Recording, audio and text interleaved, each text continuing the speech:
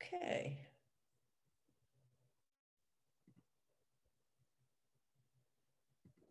All right.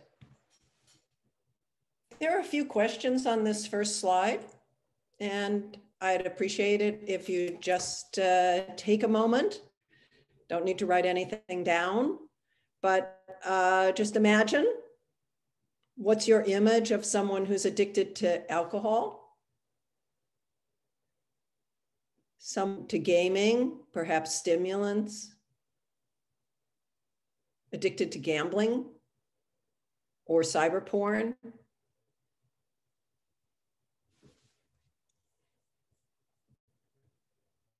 And we'll come back to that later.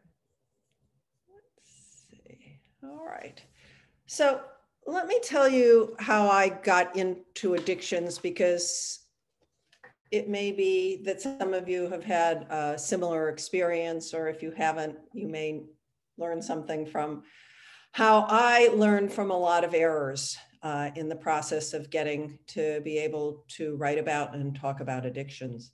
As a doctoral student, I had no training on addictions except with some reference to substance abuse and dependence in, in psychopathology.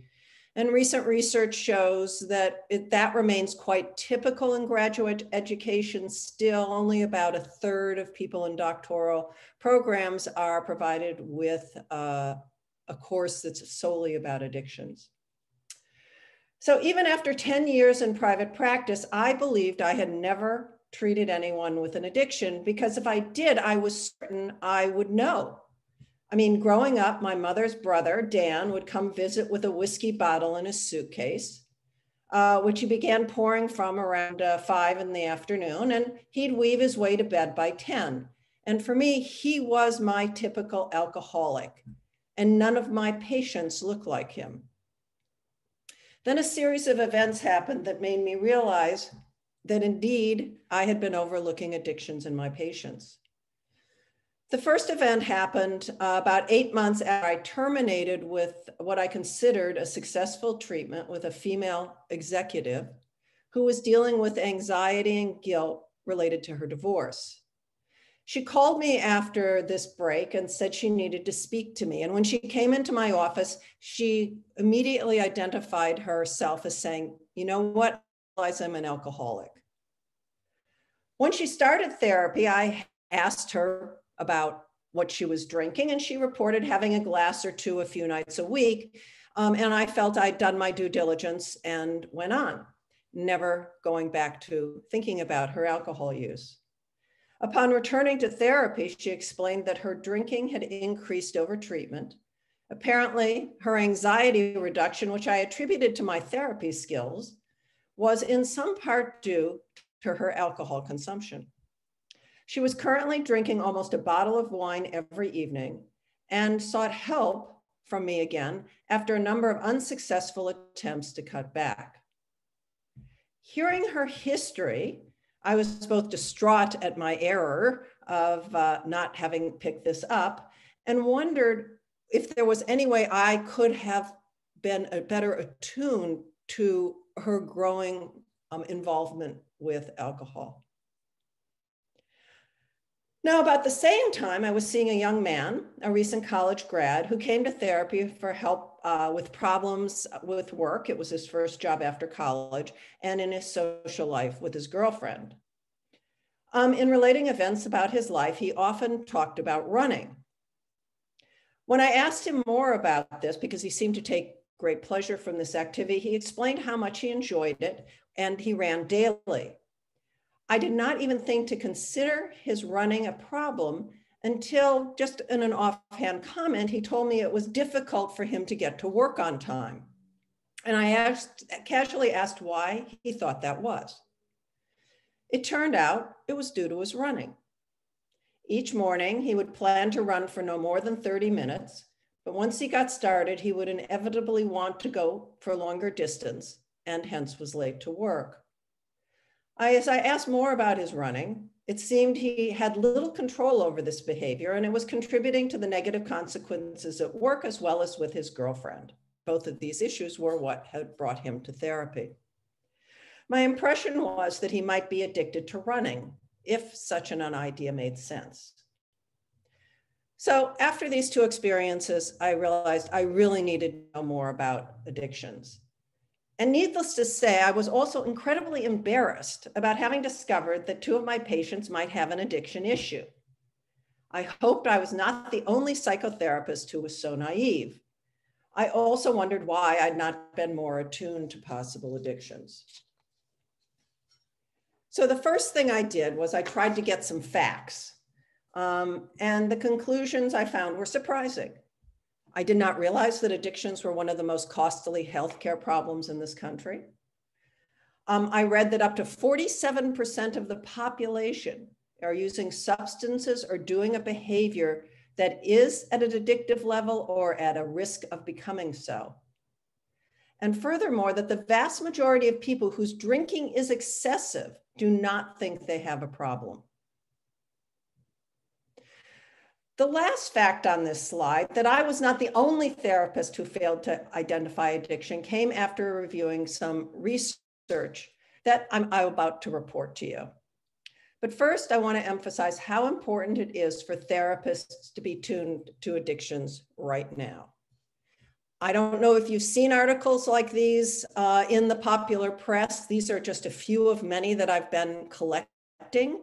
But during the pandemic, people have turning more and more to substances and activities as a way to manage stress when their other forms of stress management are no longer available to them. And this opens up the possibility that as we move out of the pandemic, and I really love the next 10 line, a pandemic within a pandemic. And I would say substance abuse as well as the potential for behavioral addictions have risen amid COVID. And so I really think it's critical at this point um, that healthcare providers in general and psychotherapists in particular begin to be more to the possibility that the people that they're working with have some kind of addiction. And I'm going to of addiction broadly, both as substances and as behaviors. So take a minute or two and read this case vignette and make a mental note of, you know, three diagnoses you might consider if this person had come in to see you, or if you're not a therapist, three questions you might want to ask this person in order to get a better understanding of why they're seeking help.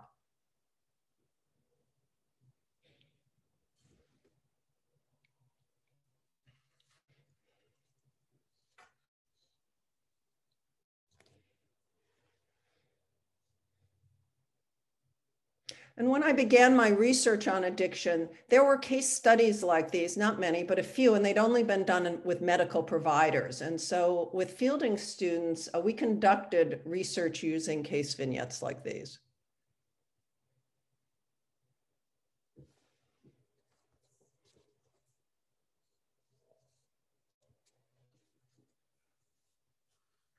Okay, let me go on to the next slide which tries to make something of uh, what's happening in this slide. All the sections in gray are possible signs of an alcohol use disorder. Carelessness, sleep problems, ulcers, eating less, but no weight loss, negative blood work, isolating in the evening, going to bed after her husband goes to sleep. When we gave this vignette to psychotherapists, they were asked for five diagnoses um, or questions they would like to ask. We then looked at the first three. For this 28 year old married school teacher, this was asked outside the context so the first diagnosis uh, type of question that was asked was depression. That was for 50% of the, the people who were therapist participants. This was followed by anxiety. Only 7% of participants offered a substance related problem as an initial diagnosis. Now, I'm not saying that this woman necessarily has an addiction issue, but if you were um, an attentive therapist, there's sufficient signs here that there might be something further that you would want to explore or keep your eye out for.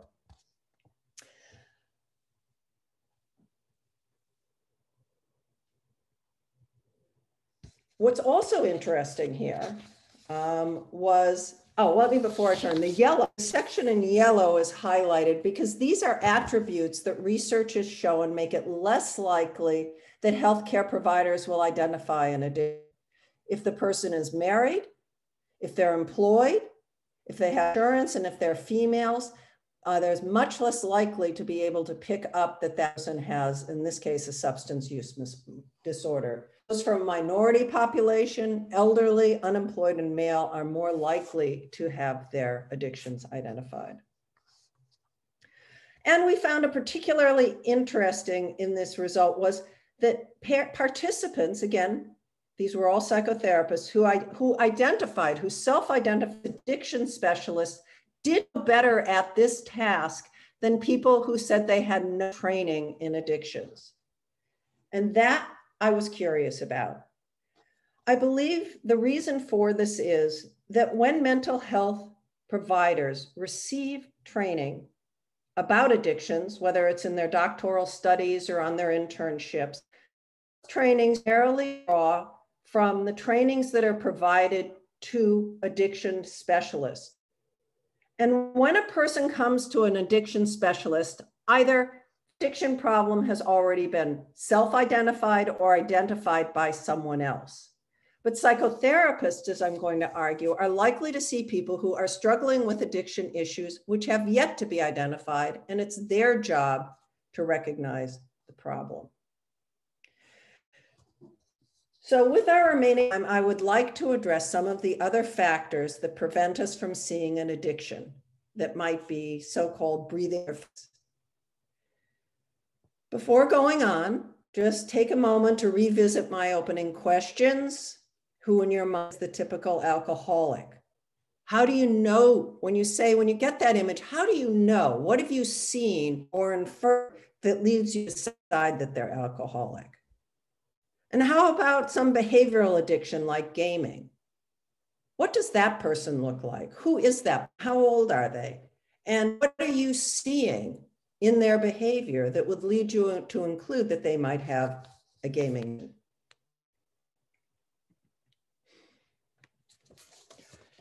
So I'm going to go seven different reasons why I think psychotherapists fail to identify addictions.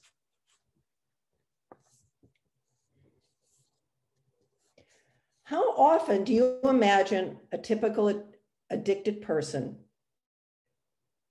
doing the activity and it creates some negative consequence?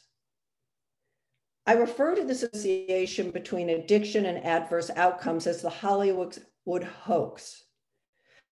Movies, TV shows like Intervention, Hollywood stars melting down in front of the camera, if some of you recall Britney Spears from a number of years ago, portray addiction as a frequently occurring repetitive behavior, which is considered excessive, by which we mean it's creating harm. In other words, they look like my Uncle Dan. His addiction alcohol was apparent, and so I had also assumed that addictions are obvious. But I'm hoping, as in the case vignette, that you just looked at, you're beginning to get a sense that there may be signs of addiction long before the negative consequences that may be worth tending to if you want to pick up on this problem. Now, let me say a diagnosis of addiction does include negative consequences, and we'll look at those diagnostic uh, categories. The apparent nature of addiction, that is the Hollywood hoax, misleads us because long before negative consequences emerge, addictions are present, but the signs are more subtle, and we'll get to those in a moment. So here are the remaining six impediments uh, that I've identified to recognizing addictions. Can't go into detail about these, but I'll go over them uh, briefly. All right, addictions only occur for substances. DSM 5 is helping us to get beyond this system, given there is now a diagnostic category called substance related and addictive disorders. That includes one form of behavioral addiction, disordered gambling. Um, an interning disorder is under. I have to say this was really exciting to me. I was writing about addiction uh, when we still had 7-4, and I was call, writing about addictions uh, both in terms of substances and behavior. Um, and addictions had been eradicated from the DSM versions three and four, and it appeared in DSM two last time, and it was considered a personality disorder. So I was really excited about this, but I will also get shortly to why I'm disappointed with how the DSM-5 has begun to treat addictions and how that's complicating healthcare providers' ability to recognize addictions. Another thing that gets in our way is that stereotypes about who is most likely to be addicted, hence my questions about who do you think is the typical addict. We all have our views of the typical addicted person, which may be shaped by the media or personal experience. By the way, we'll use the more appropriate term instead of saying addict. Um, we're encouraged to say the addicted person so that when we're speaking when it's not they are totally and when we use the word addict it makes it sound like that's all they are as opposed to saying an addicted person helps to separate the person more from the addiction. So think back to some of your responses to this question before we started. Is a sex addict in your mind let's say more likely to be a man or a woman? Uh, research shows it is more likely to be a man uh, who comes from a Catholic background. And the sexual addiction is more likely to be acted out in consensual sexual relationships. Is an addicted shopper more likely to be a woman than a man? Interestingly, the research, both men and women are equally likely to become over involved with behavior. And this has been shown in several different ways. Now, it is true that men are more likely to be alcoholics than women. But these differences may be exaggerated because men are more likely to get caught um, and mandate treatment. For example, when a couple goes out and they both had equal amounts to drink, is more likely to be behind the wheel and get a DUI than the woman passenger. Also, there's some research that shows that while men are more likely to go out and drink, women are more likely to stay home alone and drink. Another reason that it might underestimate the prevalence rates of addiction for women. So our stereotypes can affect how likely we are to be attuned to a potential addiction. So I just encourage you to think about your images uh, take hold of those, take responsibility for those, and don't shape your willingness to be attentive or ask someone about addictive behavior. As I mentioned earlier, um, alcohol screens are less likely to be conducted for people who are white, women, those who are insured, employed, and older. As one therapist um, who I interviewed in my attempt to make sure I wasn't the only one who was alone and failing to recognize addictions, said to me, the more a patient's demographics fit my own, the harder it is for me to think there may be an addiction. Another factor that I think may hinder uh, mental health providers' engagement with addictions and psychotherapy patients is what's called the specialist mystique. This comes uh, in two versions. One is unless you've been addicted yourself, you can't treat addictions, or you really have to be a specialist in addictions, or you should not treat the problem. If not a specialist, then addictions are basically outside your role. And to that extent, it really discourages, I believe, therapists from attending to such problems in our patients. For those of you who are interested in this idea some more, William Miller and Sandra Brown wrote an American psychologist way back in 1997. They argue quite convincingly that mental health providers are very well suited to assess and treat addictions. Another factor that can impede our willingness to be attuned to a patient's potential addiction arises from the notion that addiction, as the, it has often been called, the disease of denial. If patients are going to deny the problem, then why bother to ask and risk the possibility of angering a patient? And there's a fair amount of research showing that healthcare providers are hesitant to do an addiction assessment because they fear that even by asking, uh, that patients will be angered, annoyed, and possibly leave treatment. Now, yes, addicted persons can deny that they are addicted, but this is most likely to occur when feeling criticized about the addictive behavior. And in this case, they're not denying it, they're basically lying to you. Um, it's not that they don't know they're addicted, but when someone is put into a position of feeling accused, of feeling ashamed, then all of us, we tend to minimize or deny whatever we're being accused of. And addicted persons are no different. So that a person who is told bluntly, you are addicted, is likely to deny the label or minimize the adverse effects. But rarely, except for perhaps sex addicts cheating on a spouse, do they deny that they drink or do a given behavior. Person who's addicted to gaming may say, "Oh yeah, I play games," but oh, you're you're just exaggerating the adverse effects. It's really not a problem. So they don't deny the behavior, but they will deny that uh, they don't see the scope of harm that their behavior or substance use is creating.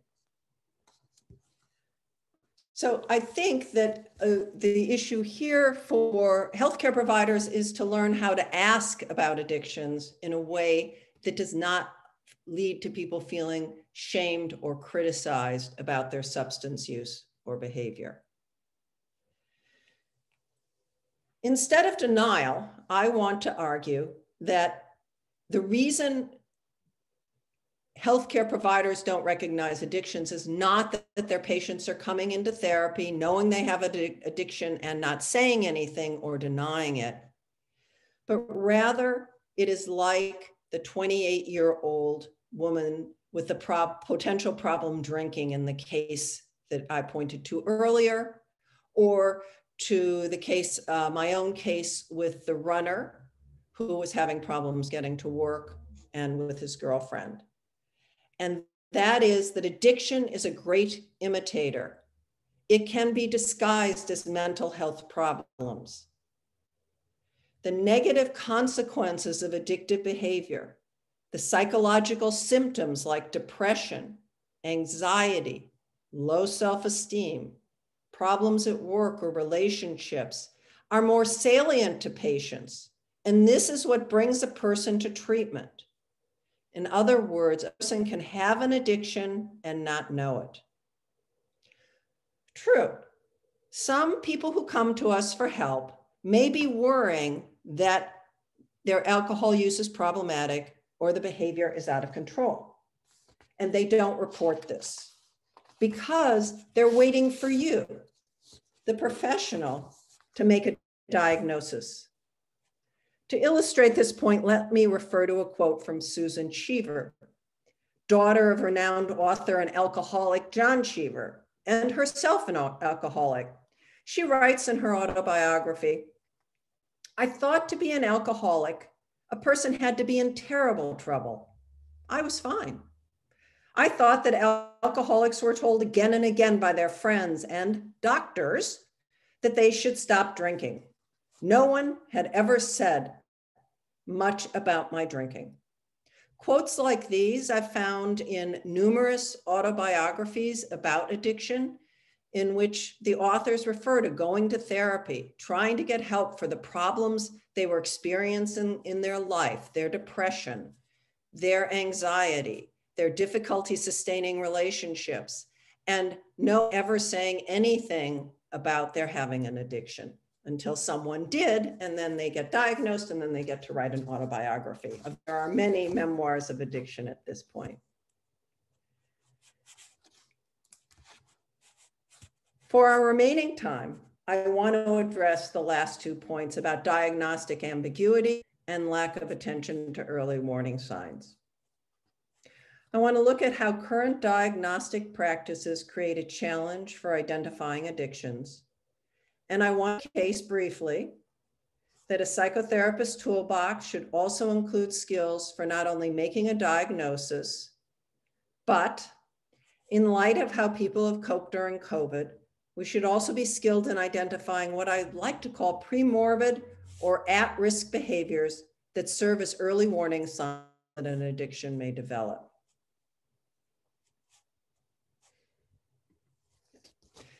So first off, we really need a good, concise definition of addiction.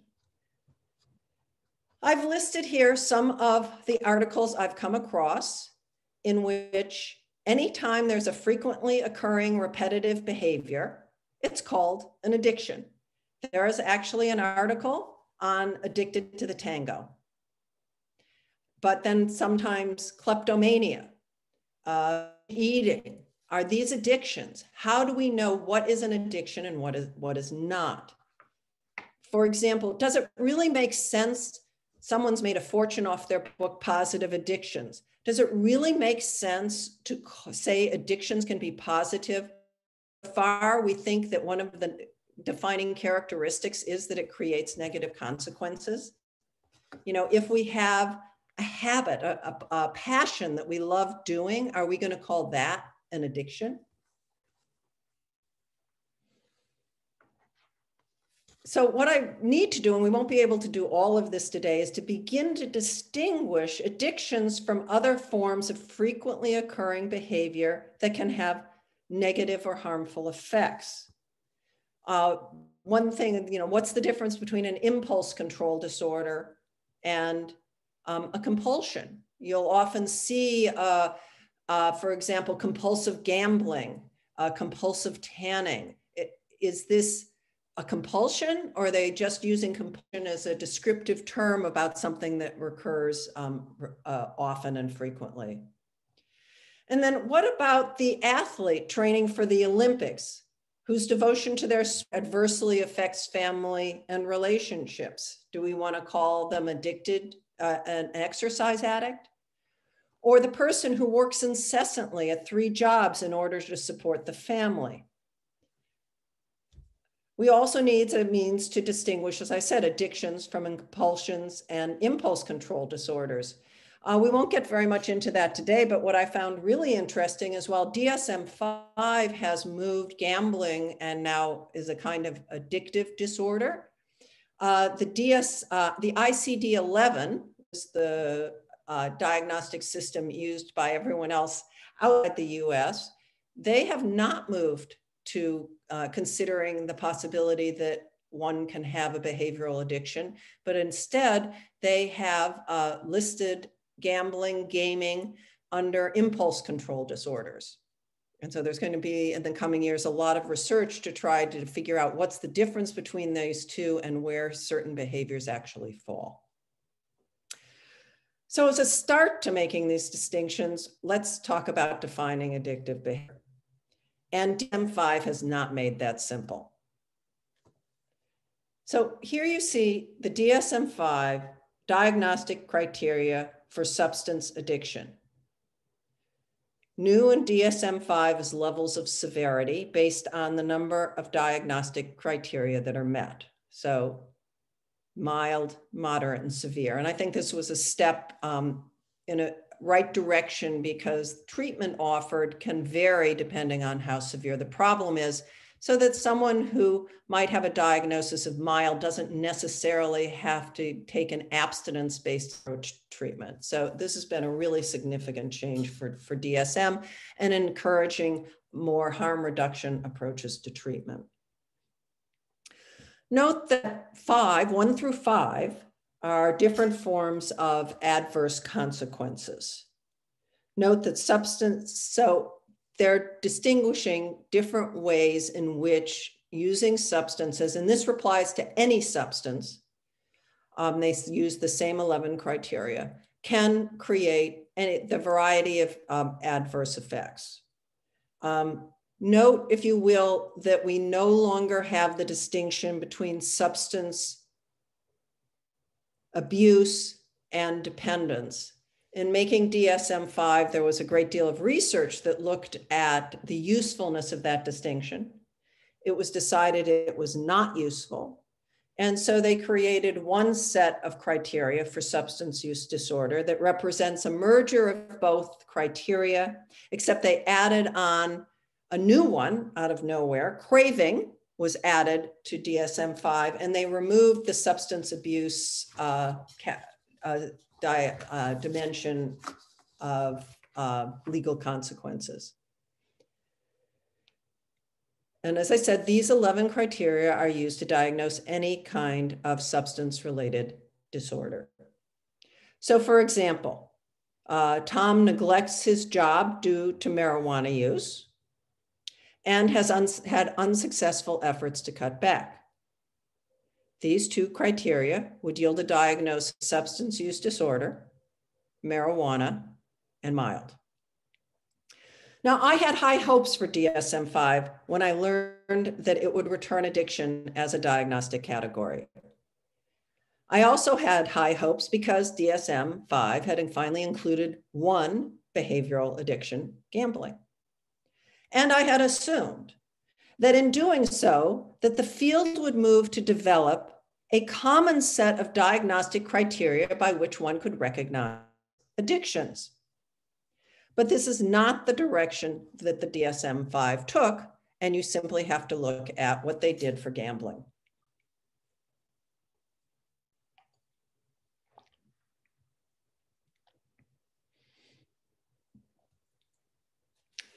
Now, there are similarities in the criteria for gambling and, and substance addictions.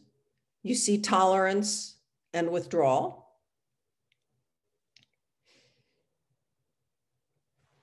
in blue. Um, and you see reference to difficulty controlling the behavior.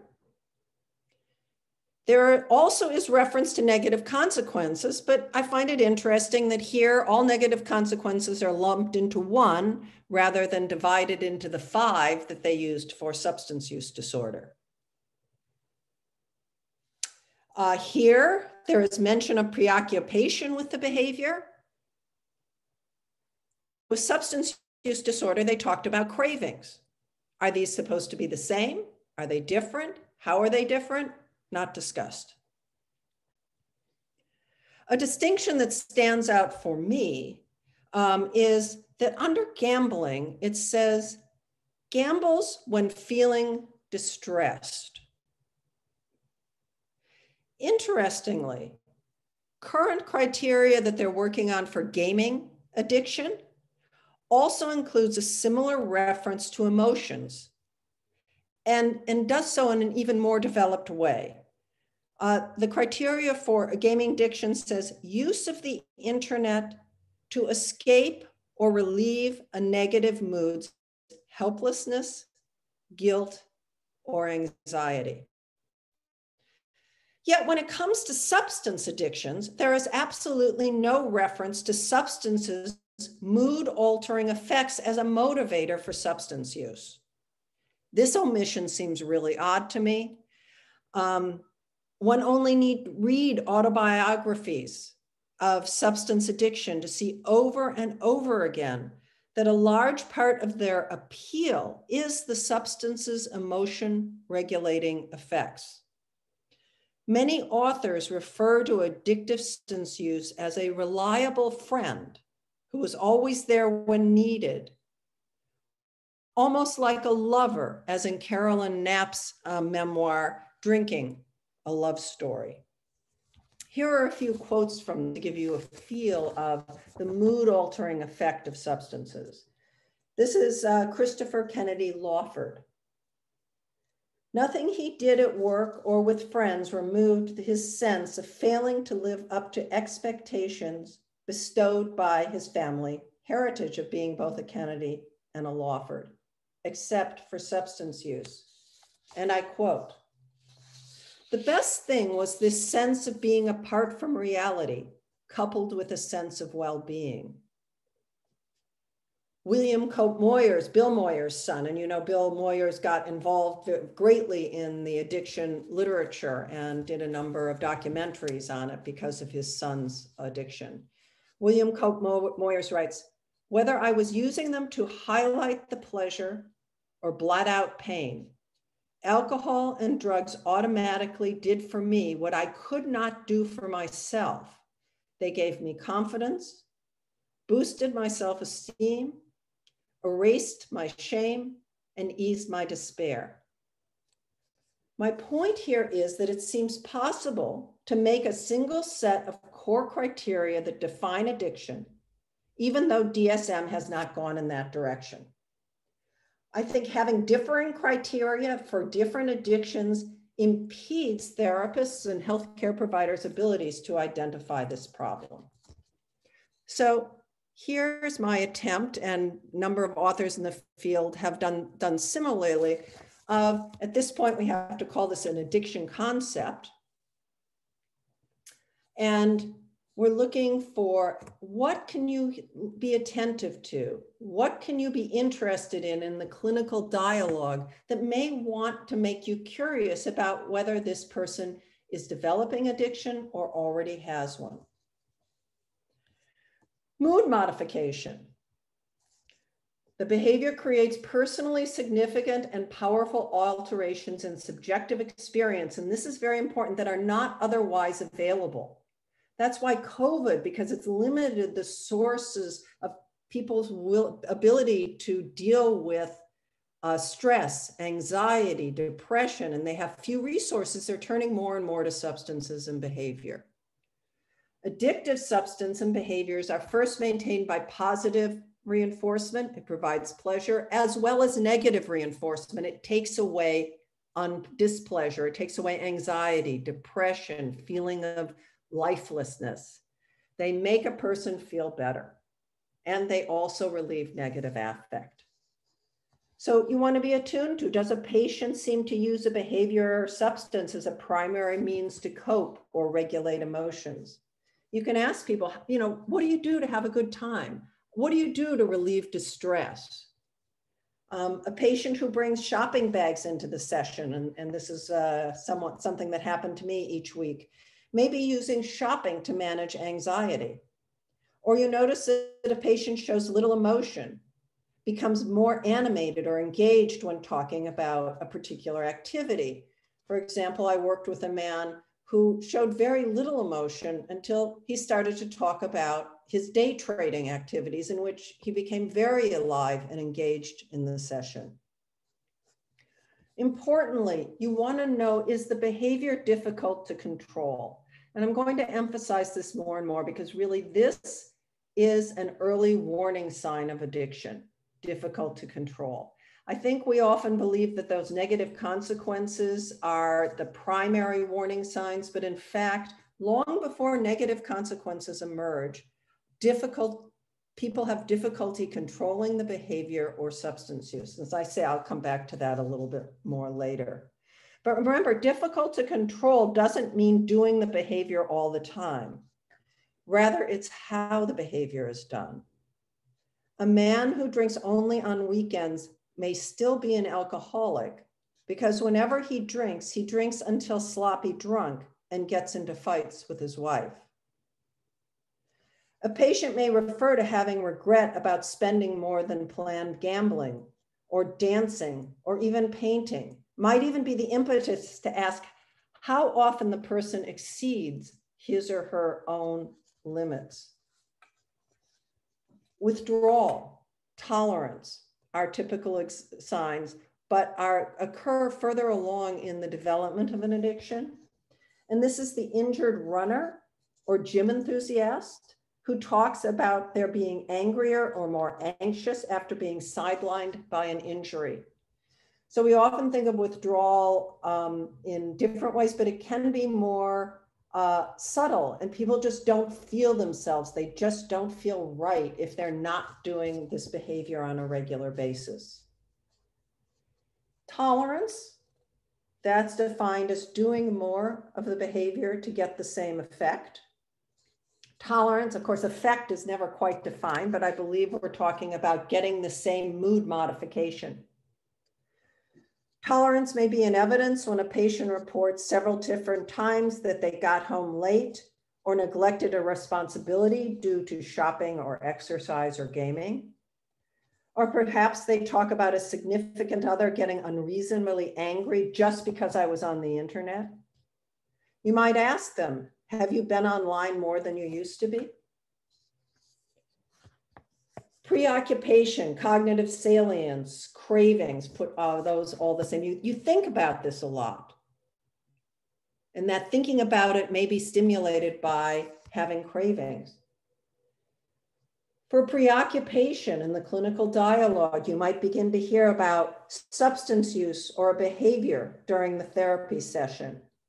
Uh, the person I mentioned who became very animated about stock trading you would often find that um, he had nothing to talk about in the session, but the minute he started to talk about um, his stock trading, he could talk all session about it. And when I asked how often, you know, was he thinking about it, he, he would be engaged most of the day imagining and thinking about what trades he was going, going to make. And if he were around right now, he'd probably very much involved in what's going on with, with GameStop.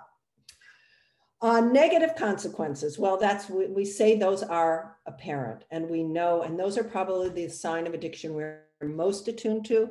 I like here to include um, dividing them into different categories. And I think it will be important over time that perhaps some kinds of addictions lead to different kinds of adverse consequences and need to do some research um, into that. Rarely will a patient, now this is rarely will a patient overtly link negative interactions to an addictive behavior. Rather, as the clinician listening to a patient describe an unpleasant interpersonal interaction, you may want to explore the context in just how that came about. So listening with these criteria in mind, there's only five as opposed to the diverse sets of criteria that you get for substance use disorder and gaming. Using these five um, may help you become more attuned to a potential addiction in the people that you're working with. And this brings me to my final point. Um, mental health providers can play an essential role in limiting the devastating cost of addiction by identifying whether a substance or behavior is at risk of becoming addictive. Um, in the literature, this is known as uh, serving a secondary preventive role. And as I say, I think this is really important now that we're into COVID. So let me, let me talk a bit about not talking about addiction, but behaviors and substance use that is considered at risk. The importance of identifying behaviors at risk of addiction first took root with alcohol and the harmful drinking initiative. You may, you may have been, you may ask these questions or you may have been asked these questions by a healthcare provider. Listed here are the standards that apply to the average sized healthy person. And you may want to take a moment to think about your own alcohol consumption in light of the standards that are here. For myself, I was quite surprised that a standard glass of wine was only five ounces, which is just a wee bit more than a half a cup. And I'm not sure that those big glasses that we pour wine into actually hold just five ounces. So I found it very useful to have this information and know that in fact, sometimes when I sat down, I was exceeding the limits that are recommended in order not to move into a harmful level of alcohol consumption where there's decreased inhibitions, acting in ways that we regret, accidents, or poor decision making. For those of you who are interested, um, at the bottom of the slide um, is the reference. You just have to Google harmful drinking and you'll come across um, the information about this. It's quite available, helping patients who drink too much. It was interesting when we did our research with the case studies um, that therapists whose drinking um, exceeded harmful drinking levels were less likely to identify or recognize alcohol use problems in their own patients. So women and men over 65, it's one standard drink per day. Under seven drinks per week. In other words, the idea ideally is not to drink every day. And binge drinking is exceeding four drinks in a row. For men under 65, it's two standard drinks per day, under 14 drinks uh, per week, and less than five drinks in a row. I found this interesting. I find it very helpful. Um, I before I became across the Harmful Drinking Initiative, I actually could ask people how much do you drink, but I wasn't perfectly clear how much was too much. Now, again, these are based on standard sized healthy people. But how much is too much in other instances? I wondered if similarly could there be something like how much is too much harmful behavior if we could identify factors that put people at risk of becoming addicted when it came to a behavior? It does not seem, as I said, quantification is not a reliable method for assessing at risk behavior, even for alcohol. Uh, it, time since your last meal, uh, how heavy you are, uh, whether you're taking medicine, all affects um, which what defines harmful drinking. So it does not seem possible to simply quantify harmfulness. Michael Jackson was probably addicted to shopping, but he could probably spend $100,000 on a shopping binge and have no adverse effect. And as I said, even the standards that define too much drinking are relative. So Instead, I was wondering if there was a way to define at risk um, some other way than quantity. And so fielding students and I set out to identify what we came to call subtle signs or early warning signs that substance use or behavior was at risk of becoming addictive.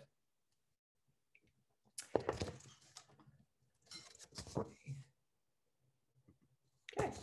And this is the beginnings of uh, what we found. So in order to uh, come up with this list, we read memoirs of addiction. We read about the course of addiction development. And we interviewed addiction spe specialists. And what we came to were some criteria beginning to define the distinction between what we might say is recreational drinking or behavior from behavior that is at risk of becoming addictive. Another way of talking about this is highly engaged behavior. So I think the common example is with adolescents or children these days, their engagement with cell phones. Um, or iPads. We wonder, uh, we often say, oh my, my gosh, my, my child's addicted to their phone. Well, are they addicted or is it simply that they're highly engaged? Highly engaged may put you at risk, but doesn't, doesn't mean that you're actually addicted. So I'll go through a few of these. Um, so the, at the recreational level, um, behaviors are fairly regular, uh, but they're done in moderation. And they can be described as recreational, social, or experimental. The term social is very apt descriptor because such behavior primarily occurs within a social context. This is an adolescent who experiments with marijuana or drinking, but only when with peers. See, the social aspect is important here. And in some way, for that person, is more important than the behavior itself. Now, sometimes controlled by the situation may lead you to overdrink. For example, uh, Sunday football games, there is a tendency for people while watching football to probably have more than two beers. But it's still controlled by the situation because you're drinking the same amount as everyone else. The issue becomes when, for example, someone, the, the peers are having four or five beers and you have 12. Then you're not being recreational. The situation is less dominant. You are drinking more for some other reason than what's going on in the current social context. As I said, the frequency intensity of the behavior is fairly stable.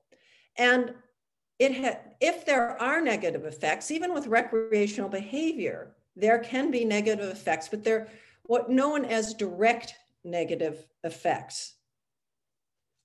That is, the behavior itself creates some adverse effect. Ah, we had too much to drink this one night, you have a hangover.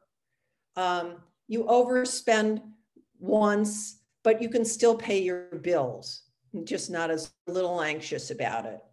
You ignore your spouse to be on the internet. Um, you may have unplanned sex. That's a direct result, perhaps, of uh, overconsumption one evening. But these direct negative effects are rare and they're unexpected. The sore muscles applies to someone who may be overdoing it occasionally with um, exercise. At risk behaviors are also known as highly engaging behaviors. Uh, the recreational level is interesting. It provides an opportunity to discover whether a behavior or substance is intrinsically rewarding. And herein lies a potential danger depending on the person. Intrinsic reward occurs when the behavior generates a positive feeling that in itself is satisfying or gratifying. People like to gamble because they like the bit of excitement. Um, it's enjoyable, it's social. But for some people, they feel incredibly enlivened and excited by the act of gambling. And that can lead them to become more engaged with the behavior. And it becomes more risky if that's the only way that they can feel alive and engaged with life. Now, certainly, many things that we do are intrinsically rewarding.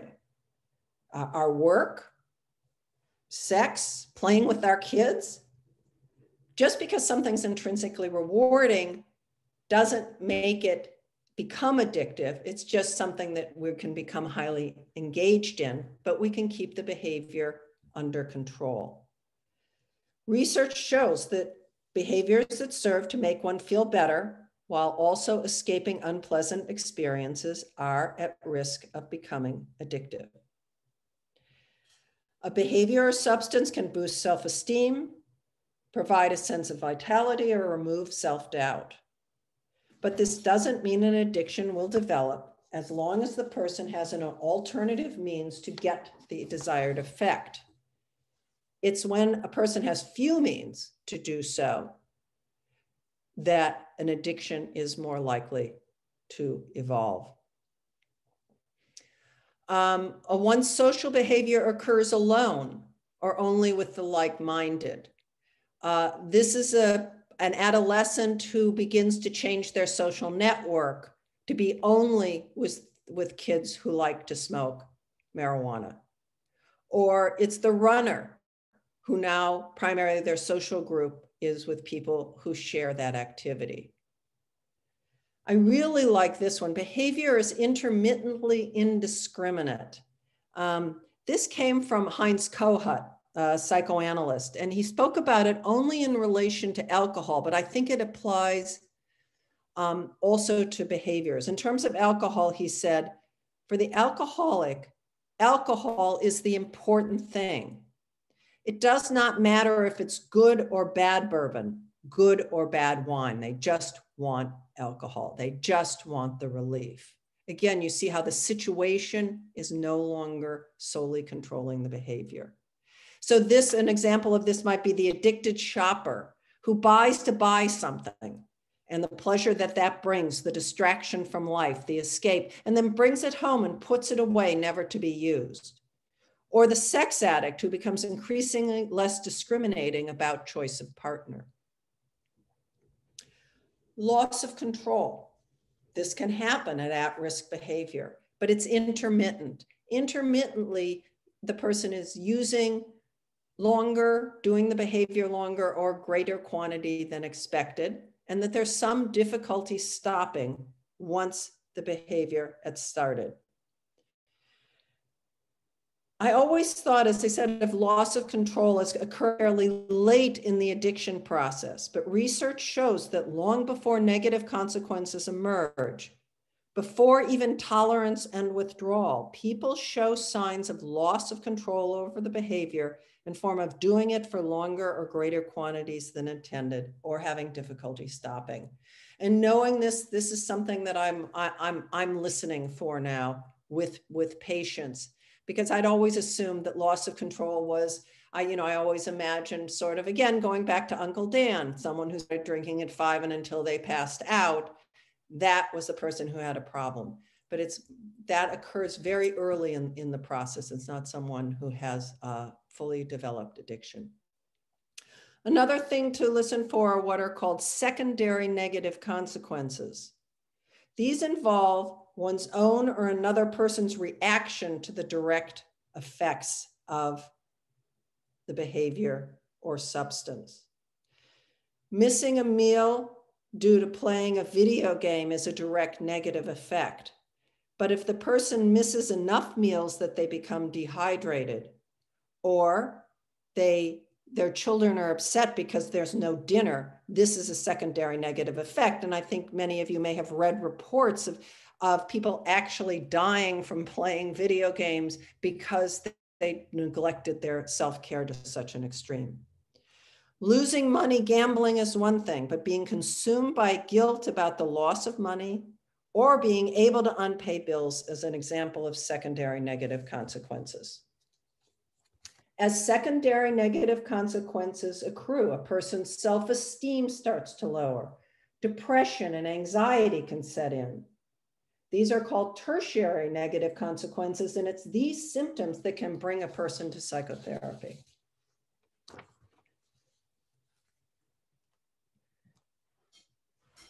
Okay, let me uh, wrap up with sort of a, a review of what I've been talking about. First of all, I think we need to recognize the full scope of addictive relationships to substances and behavior. And in this, I'm again moving into behaviors. I believe that it is possible that the list of behaviors, tango, tanning, in fact, there's fairly good research about addiction to tanning, but most any behavior we can become over involved in. And oh, if a behavior has profound mood altering effects that are not otherwise available, it's possible that a person could become overly involved in a way that they could meet diagnostic criteria for addiction. Secondly, I think each of us has to address our personal and cultural variables that impede fully leaning into recognizing addictions. The personal may be our exposure to addictions and addicted people in our life and how that's sh shaped our image of who the typical addict is. If you grew up in a family in which credit card debt was the norm, you may be less attuned to someone who is addicted to shopping. Um, So knowing about yourself and what your images are to make sure that those don't get in the way. And I think that quote from the therapist, the more the demographic variables look like my own, the harder it is for me to think the person has an addiction. Uh, don't let that get in the way. People need to listen for signs of addiction in the clinical dialogue. There's no way um, right now that you can assess for every single possible addiction. You'd be giving people paper and pencil measures all the time. Uh, there's some interesting work going on, however, of making some short measures that will help, I think, therapists identify uh, patients who have some highly engaging behaviors, but those are still under development. So listen for signs of addiction in the clinical dialogue. Is the person losing control? Are they doing something more and more? Do you have a sense that a particular activity or substance profoundly changes the way that person is feeling and experiencing themselves or their life? Recognize addiction as occurring along a continuum of severity. DSM 5 has done us the favor of talking about mild, moderate, and severe, but I'm suggesting that we actually take the next step and look at behaviors and substance use that's at risk or premorbid signs of addiction, and hence to become attuned to possible early warning signs of addiction. So that's the slide, and I'm hoping now I will stop that and um, we can get everybody back online and into video and I uh, can answer any questions that you might have.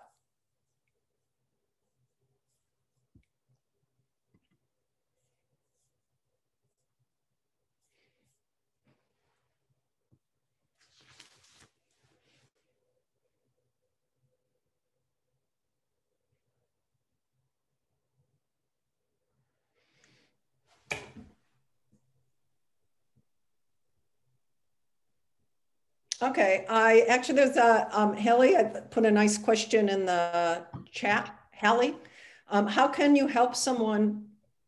Hey, Hillary, is everybody unmuted? They are unmuted. Okay. Uh, can we actually? Can everybody share screens? To be a nice time to be able to see who's who's here, if you're willing, yeah, dressed or whatever. Hi. Hi, everyone. Okay, Hallie says, how can you help someone with an addiction problem who's at the state of denial to, to, to state of pre-contemplation, how their family can help in their recovery? A great, a great um, question. Um, and I like that you're talking about pre-contemplation or contemplation stage. Um, let me talk a little bit about that. Um, raise your hand if you know about the stages of change. Okay, let me tell you well, couple, I'll, uh, I'll talk away. So Prochaska and DiClemente, they call it stages of change. I like to call it phases of change.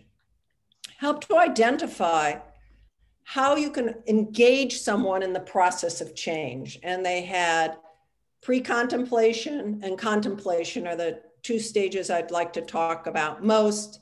Um, pre-contemplation is when yeah, I might have a problem. I'm thinking about it, or I don't even know I have a problem. Contemplation is I'm not going to do anything, but I'm going to think more about my problem. Then they say once you've done that, you can move to preparation, which is I'm going to get ready to do something. And then you take action and then you work on things to sustain the change. So, as an example of what doesn't work, when you go to the dentist and they, you know, they've got all their stuff, they're, they're, they're in your mouth, and the dentist says, Oh, you've got tartar, you really ought to floss more. Do we all go home and start flossing every day? No, we're not prepared. They haven't, they, you know, they have not convinced us. Yeah, they gave us a negative consequence, you know, tartar on our teeth. But you know, they didn't check. Sometimes they give us the dental floss, which is a step in the right direction. They're preparing us to do it. But we have to really get into taking action and doing things. And most treatments start at the action stage. So that's a problem. 12 step program, 12 step programs are a self-help group, but the addiction treatment programs that start have taken the 12 step philosophy start with action. Stop drinking. You know, just stop drinking. Like, and, and it makes no sense to me. We don't tell people who are hallucinating or depressed, I won't treat you until you stop being depressed or hallucinating. So a lot of treatments have not built in getting people prepared to take action to make the change. And Hallie's picking up on the importance of the pre-contemplation stage and contemplation. And while I don't fully believe that people are in a state of denial, I think denial, it looks like denial because we shame people into it. And the reason that alcoholics, we'll talk about people who are alcoholic, are in denial is because they have everyone is always telling them to stop. They're always focused on, you're this drinking is driving me crazy. It's ruining our family. You're a horrible person. I can't believe you yell. And they're always focusing on the negative and shaming the person. What we as therapists and help providers need to do is two things. First we have to get people into the pre-contemplation stage. And that's what i'm emphasizing when i'm talking about people who are at risk that we need to point out if our patients are over drinking, they don't think they have a problem. They don't know about those standards. So they're in pre contemplation. So, in that case, we can help move them into a contemplation stage about maybe they want to drink more normal within the non harmful limits. But in the case of a person who is overly engaged already, and we can call them addicted and possibly in denial because they've been shamed into not wanting to admit a problem. Nobody likes to feel helpless, wrong, bad. Addicted people are struggling. They may not let you know, but they're struggling. They people who are in to the point of being denying about denying their um, overuse of a substance or or doing a behavior too much. They kind of know what's going on and they see it, but they're feeling helpless. They've tried to stop a bunch of times or cut back and it hasn't worked, and so they're embarrassed and they're guilty and they're ashamed. Well, Prochaska and DiClemente pointed out, um, and is that first of all, you need to get people to say, "Yes, this is what I do." In other words, you can quantify. I do this a lot how much do you drink? But what's really important is to not then move a person into making a change, but you have to contemplate, you have to think about it. And they have a nice system for thinking about it. And I think this is useful for any time you want to do a behavior change, um, is the following.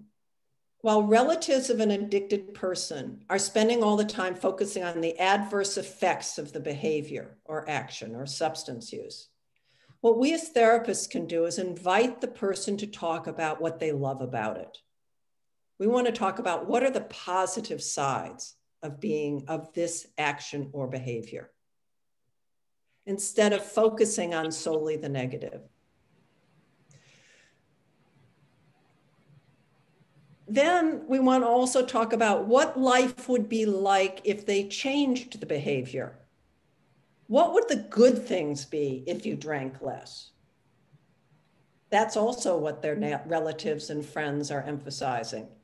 So it's our role also to talk about what, what, what are you going to lose? What are the problems going to be if you stop drinking or gaming or gambling?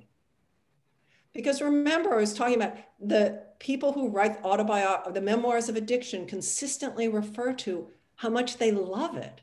They're in love with this substance. And we know we don't give up relationships easily. And you have to mourn the loss of what you love. So that's really what the contemplation phase is about. It's looking at both the pros and cons of the current behavior and the pros and cons of changing. And learning to live with ambivalence. No one's going to go gung ho into changing behavior. We all have mixed feelings. For any of you who have ever decided you're going to eat less carbs, have less sugar, we know how hard it is to maintain that um, because we have enormous ambivalence. We enjoy it, but we have to take account of both what we enjoy and also its negative effects and what we're going to miss when it's gone. And it's the same for people who are over involved with a behavior or, or substance. So, how can their family help? Stop focusing on the negative of the behavior and stop focusing on the positive of change and allow and be open to the fact that this person regretfully is in love with something else besides you they're in love with this activity or behavior and you have you have to learn to accept that and allow them to explore all, all of their feelings. Now you don't necessarily set this up but you have to be open to allowing yeah i understand. You you seem such a happier person every time you drink. You don't have to fight them all the time about the the addiction. So that that's one way um, to uh, focus and i find that contemplation phase and also learning that all of our action to, to accept ambivalence and still be able to take action is very helpful. The contemplation phase takes time. This is not something you do in, a, in an hour. It's sort of living over time. One of the other thing, great things that um, I've, I've forgotten the author's name, but as part of doing contemplation phase, um, he has patients write love letters to say goodbye to their substance or behavior. they're really they're, they're they're quite powerful when when when you read them and you get a sense and a feel for the strong relationship that people have to behaviors and substances that they get over involved in. So i hope that's helpful. If not Hallie, you can type another message in or say something.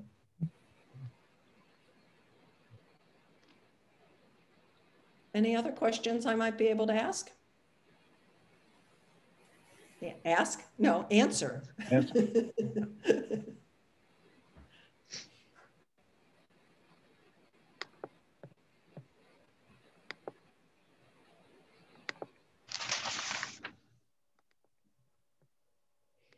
well, Hillary?